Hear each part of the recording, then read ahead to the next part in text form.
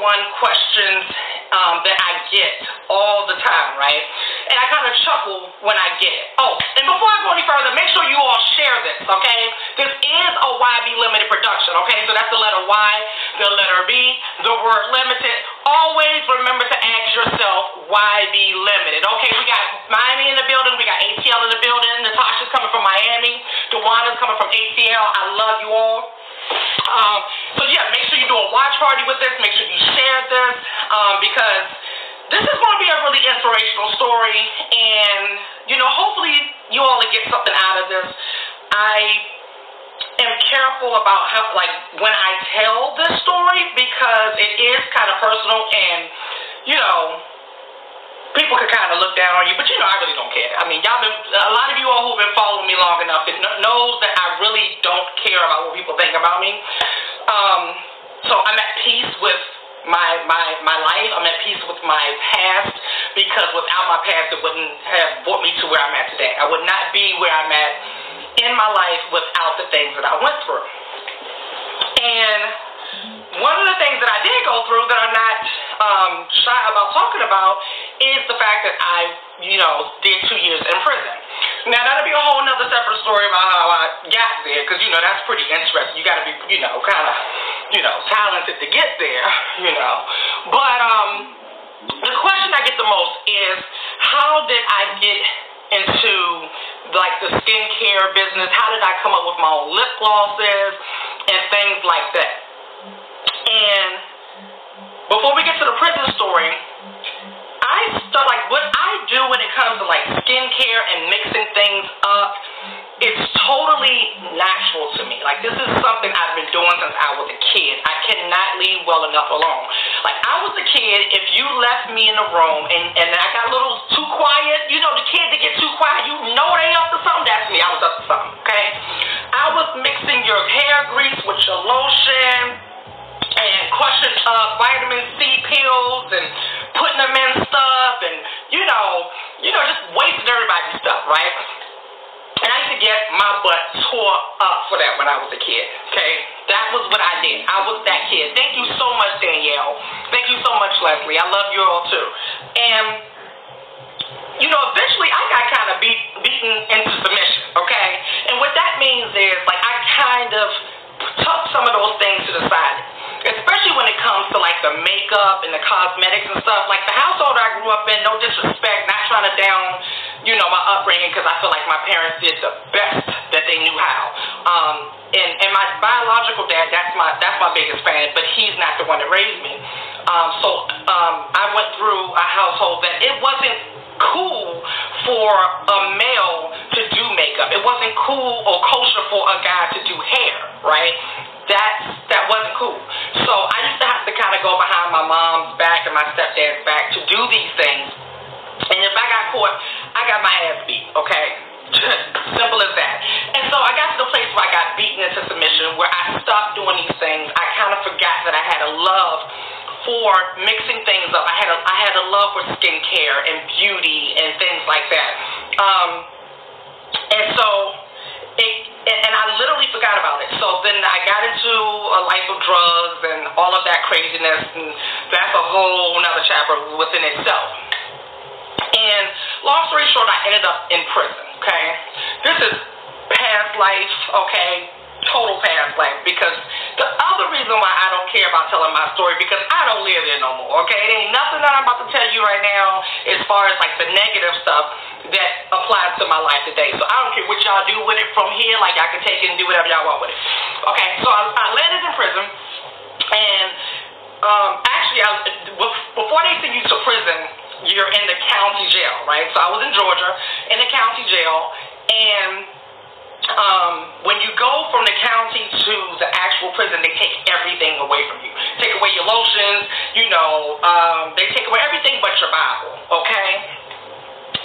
And Zanetta says we all have a past. Yes, we all do have a past, but ain't no, not everybody's willing to share their past, you know. And I'm willing to share my past because I know there's people out there that this is going to help because this is not a prison story, okay? So stay tuned. Um, so they took everything away from me. I didn't have no lotion. I didn't have no um, Vaseline for my lips, y'all.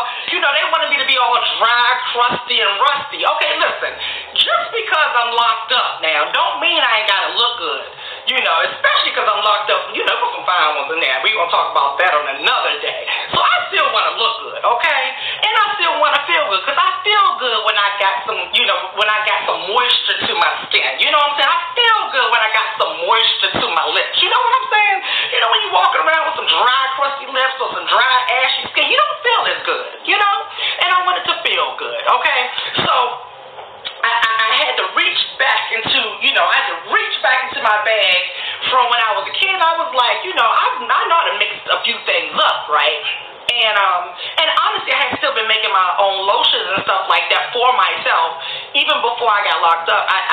was doing that. So I went on the little store, you know, they, it's a very limited option, right? And I, I, I bought whatever I felt like I could mix up to, you know, uncrusty my lips. You know what I'm saying? Like I, I, I didn't want them to be chapped no more. All right, that, that that was just that was just too much for me. Okay, I can't deal with that. So I I, I, I got the stuff from the store, and I proceeded to mixing everything up. Now, mind you, there is um like no real mirrors and stuff. Like where I was at, there was no real mirrors. So I, I put it on. It felt good on my lips. You know, I made something for my lips, and it felt good. You know, I said, well, listen, we not crusty no more. We not dry. Okay. So I remember walking out of my cell, and the guys turned their head, and they was like, "Damn, mom, like." Where, where you get that lip gloss from? I was like, lip gloss? I can't see it. I just know it feels good, okay? And then I was like, no, I'm not wearing any lip gloss. I was like, this is a little, your little yin yang yang yang, you know, a little something something I drew and whipped up together and just slapped on my lips, right? So I was like, um, you know, I, I did like the attention. I ain't gonna sit here and lie to you, okay? Cause um, yeah, we, we ain't gonna go into that part, but I liked it, okay?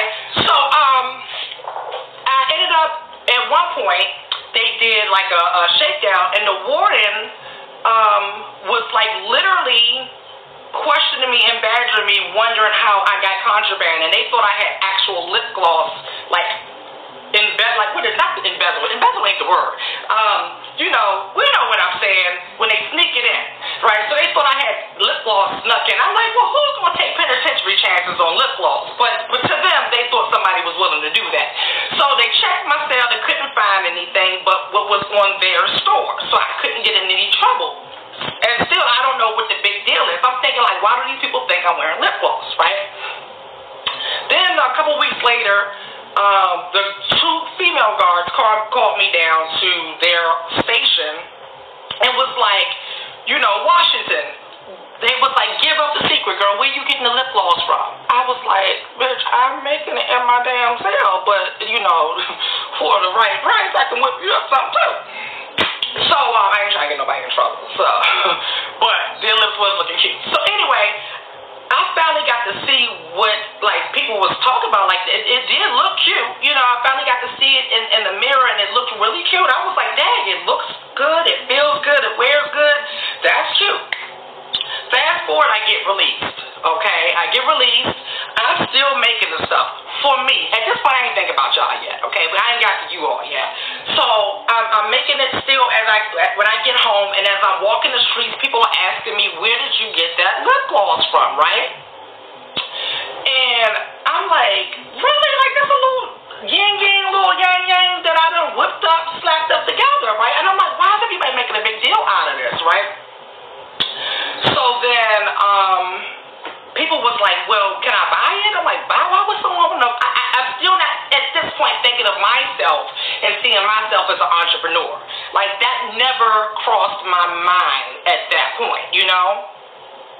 And um, Yolanda said, "You've been you've been slaying Now you know you couldn't do them like that, girl. I ain't doing like that. I, I got I got them some lip gloss, girl. I didn't just you know, because I wanted a little um some some some little yin yings and yang yang myself. So, you know, even swap ain't no swindle. So um yeah, I ended up um people kept asking me where do I buy it, and I'm like. I don't sell lip gloss. Like I'm just making this for me. So then, thank God I had people in my life at that point in my life because I had already started the process of changing my life. I had already started the process of um, getting to know myself spiritually, right?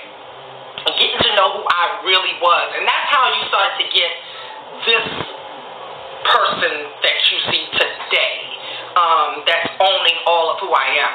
That was the beginning of that process. And in that process, like I said, I was surrounded by people who uplifted me. They told me the truth. They held me accountable.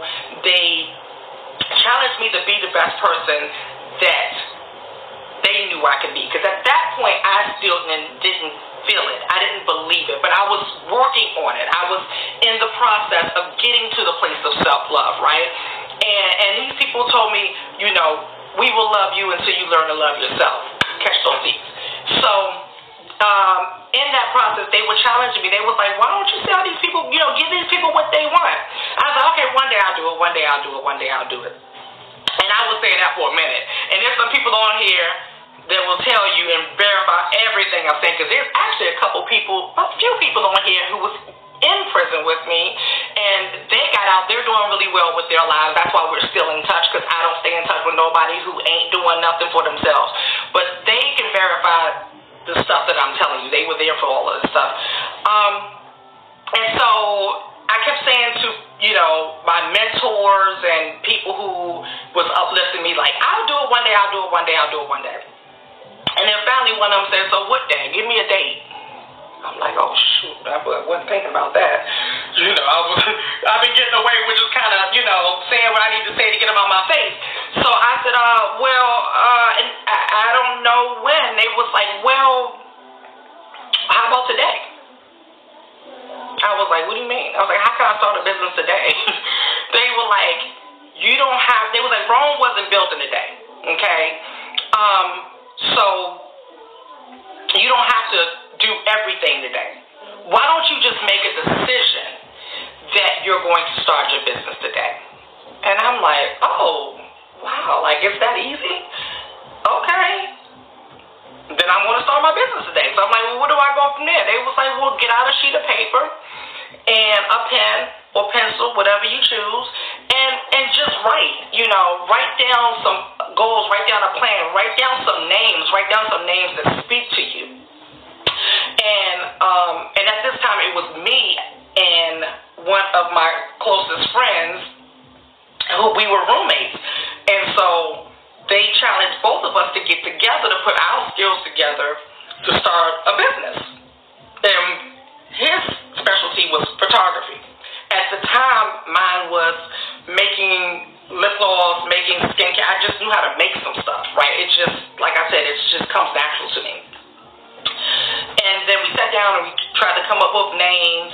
And then um, we had a whole list, like sheets of names, right? And they were like such and such cosmetics, such and such beauty, just real generic, you know, real flat. And I was like, these names, they're just they're just so limited. Like, what if else comes from this? Because, like I said, I was in a spiritual process at this time. This had this wasn't about a business. This wasn't about money. I was in a spiritual process at this time. So at this point in my life, the one thing I knew was that I didn't know. Like I knew that I didn't know what God can do, but I knew that God can do some things beyond my imagination. So these names that we had, like such and such cosmetics, such and such beauty, they were too limited to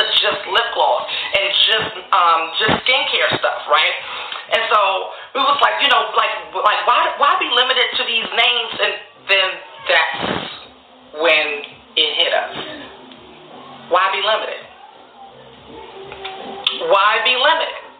I mean, that spoke to both of us, that spoke to me because that's where I was in my life and that's where I wanted to be. That's where I wanted to stay in a place of always asking myself, why be limited? Why limit myself? Because the people around me didn't allow me to limit myself. So why would I limit myself? And I realized in that moment that I had been limiting myself, right? And that I was not going to do it anymore. And that's where my journey started as an entrepreneur. That was in 2013. Um, and from there, what happened was I ended up teaching myself how to do makeup. Once again, I wasn't thinking about y'all folks, okay? I was just doing makeup for me, right? Because I wanted to look good in the photo shoots that we were doing for the promos. But then once again, y'all come bother me, asking me to do y'all make do something for y'all for some money, and I was like, well, hold up now, what you talking about? Y'all, y'all ready to pay me for some makeup? I was like, well, hold up now, I might can be a makeup artist. And so, like I said, I taught myself how to be a makeup artist. Um, I went out and found a bunch of people who had different types of skin, um, meaning like different textures, different um, complexions, different skin issues, all kinds of things. And I just trained. I told myself I was like, you don't have you, you don't have to pay me because chances are I'm gonna jack your face up, right?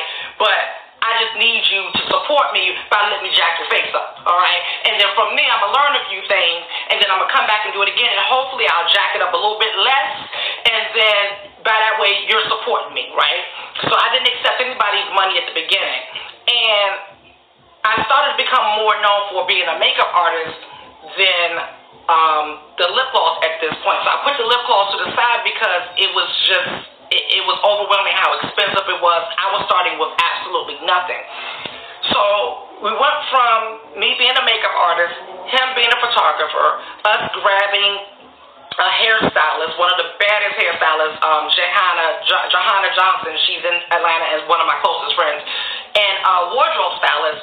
And we put our stuff together, and YB Limited became the first mobile glam team in the country, the first full service, all service mobile glam team in the entire country. And that was a that was evidence of YB Limited right there. Because remember, we were starting off with some lip gloss, but that we hadn't got to yet.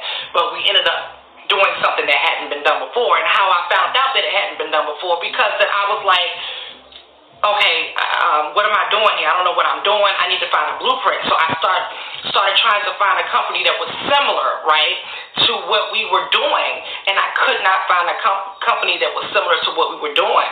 And I realized in that moment that we were the blueprint, you know. Um, and then from there, um, we did eventually come out with a lip gloss line first and then the skincare line, and then we um, started the management company, and, and, and, it, and it just went on. And that's how it happened. Now, with the skincare company, um, that's where I'm at right now. We're, we're revamping it. We're adding some products onto it. Uh, we want to be have some new products by the summer. Uh, we did a launch. We did a pre-launch in November 2018 where we had the um, lavender citrus scrub. And mind you, everything is organic.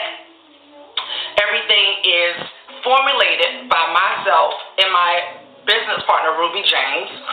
Um, I mean, Ruby James. I keep calling her Ruby James. Child, she was Ruby James in high school. She's been married about 29 years. She's Ruby Oldsby, honey. Ruby Oldsby. Um, and it's, uh, so it's formulated, manufactured, and distributed by our company. There is no third parties. We are not a private label. We do not put slap our name on someone else's product and call it YB Limited. No, it's made with love. Like it's made with the stuff sitting right here, right? All right. So the same stuff that I'm using to make my stuff is the same stuff that I use to make you all stuff. The same stuff that works for me is what works for you all. And um, I was about to do a and then I guess it ended up being a storytelling time, you know. But um, yeah, but that's that's just the gist of it. I came on to share with you a little bit of my journey um, of how I got to the place where I'm at today, and honestly this is why I'm usually like so joyful and so happy all the time. Like it's not an act you all. Like this is me. Like this is me. This ain't got nothing to do with Miss Rona. This ain't got nothing to do with none of this stuff. Like, cause I always look at life as the fact that I'm a mortal being. Like I'm not guaranteed to make it through today. So you best believe I am going to live my life to the fullest every single day that I'm on this earth, okay? I have seen? I was homeless. I was literally sleeping on the streets before, okay? Um, I have been in prison. I have done two months in solitary confinement without human contact, okay? So this right here is nothing for me because I didn't have a 75 inch TV in solitary confinement. I didn't have a refrigerator full of food. I didn't have a comfortable apartment. I didn't have any of these things. I know what it's like not to have anything, so I better not complain. You know, and truthfully and honestly, I'm not around. I refuse to be around anybody who complains. I don't care if it's about this situation or about any other situation. I like people who stay in the solution. I'm going to stay in the solution, and I expect for people that I spend my time with, spend my time with, you know, time that I can't get back. Be that way too because I need them to edify me. That doesn't mean that I'm always happy, like always, you know, but for the most part, I choose to stay in a joyful state, okay? Um, let me read some of your comments. Jan, uh, Johnny says, yes, I need some samples for my clients. I can't wait. Okay, I'm going to make sure you get some samples for your clients, honey. Um, Bernice says we needed the storytelling. I'm glad that you appreciate it because it's not easy to be, um, you know, vulnerable to come on to share these type of things. And a lot of us haven't met in person, even though we feel like we know each other. A lot of us haven't met in person, so I don't know who's watching. I don't know what someone's going to do and chop up and take my story and do with it. But I hope you chop it up and make it work for you. I hope you get moved enough that you do something for yourself, you know, um, because I'm gonna use my story to make it work for me, you know. And that's what I that's why I do it. I, I believe when I was going through my toughest times that it was not for me. I already knew that if that there was somebody who I was gonna run into who was going to um, need to hear my experience and how I got through it. And then because how do I know that? Is because I'm always running into people who have something that I need. You know, so I'm just doing what people do for me all the time. Like I, I, I couldn't have the life I have without, you know, um, other people and of course, of course, a strong relationship with God. Like I'm talking strong personal relationship. I ain't talking about that religious. I ain't talking about what my grandmama and my mama told me with the preacher down the street that you know be beating his wife on Monday and come in on Sunday. I ain't I, not his stuff. I'm talking about my stuff. You know what I'm saying? So it's important to have your own personal relationship with God. You know, and um, and just do do right by yourself. Why be limited? You know, you deserve it. You deserve whatever it is. So there are no excuses to be limited for being limited. There's no excuses. All right. So from today on, always remember to ask yourself why be limited. Okay. Number two. We all have a, a long list of plausible excuses that we can just go down and pick from and say, I'm going to use this one, you know, not to be great you know, this will work. No. We're going to take that list and we're going to choose not to pick from that list, that plausible list, not to be great. We're not going to use that, okay? And we're just going to go out here and do it. I mean, we're in the house, we're stuck right now. Let's just figure out what we want to do from here. Take this time to get connected, you know, with, with a higher power, with yourself take this time to, to, to make it work for you, you know. And um and I hope you got something out of it. You know, I really appreciate the the wonderful kind comments that I'm seeing. Um, that that really you know touches me because, like I said, it's not easy to come on and share some of these things. But I will be doing it more. I've been encouraged to do it more from people who know me um, personally because um, a lot of them say based on how I currently post, it's difficult for people to see where I came from. And I do not want anybody to put me on a pedestal. Um, so it's important that I'm, I'm more vulnerable so that you can see how I overcome things, how, how I overcome things, and how I overcome things. So I will be doing this more often. I love you all, and Always remember to ask yourself, what? Why the limit? I'm about to make my man shout.